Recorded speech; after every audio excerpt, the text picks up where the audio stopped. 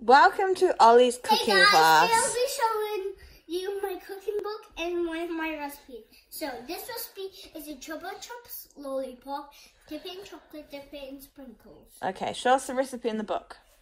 Okay, So Ollie's been writing recipes. Mhm.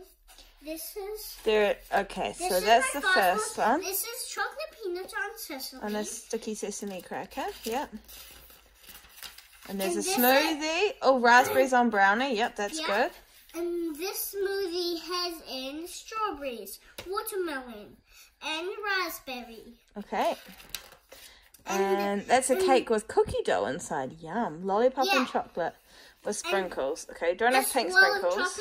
but rainbow This sprinkles is the will one do. we're doing. Okay, let's do it. Take your lollipop, Dip it in chocolate. roll it all the way around. Try and get chocolate all the way around it. Try and get chocolate on the bottom sides as well. No. Tilt it on an angle. Okay. Yeah, tilt it on an angle. Okay. Dip it in sprinkles. Guys, this is Alright, let's see. No, stop, freeze, freeze, stop, alright. Okay, hon. There you go. And then do we leave it to go cold in the fridge Yeah. for the chocolate to harden? So put put it onto this um, glass plate. Yep. Yep. And we will leave that to go hard in the fridge. Yes. And Ollie will eat and- that chocolate with and his guys, finger. I'll, I'll show you my. I'll do my other recipes if I can. Okay, so, So this we'll is how it goes. Recipe making. There you go. Okay. So bye guys. Bye.